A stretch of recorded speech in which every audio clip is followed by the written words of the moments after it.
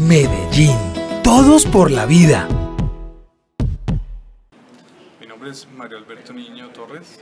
Soy presidente de la Nutresa y vicepresidente de Innovación y Nutrición para el Grupo Nutresa.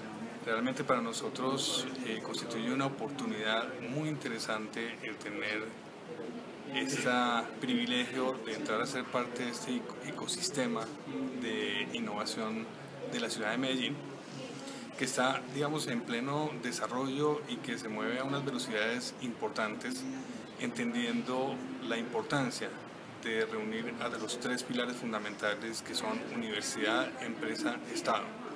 Para nosotros en Grupo Nutresa la innovación es uno de los pilares estratégicos fundamentales y entendemos esa innovación como el conocer profundamente esas necesidades de nuestros clientes y consumidores y a través de unos procesos muy profundos de, de, investigación, poder traducir esa investigación y esos hallazgos de la investigación en productos, en servicios, en modelos de negocio, en procesos que sean de alto valor para quien los recibe.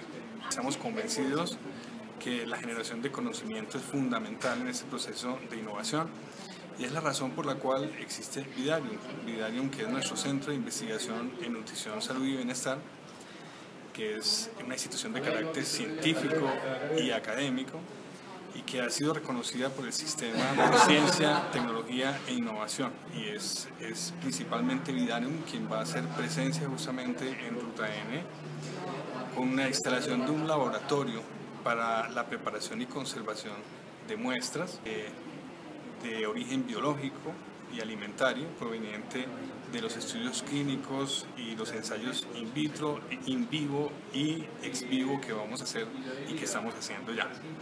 Medellín. Todos por la vida.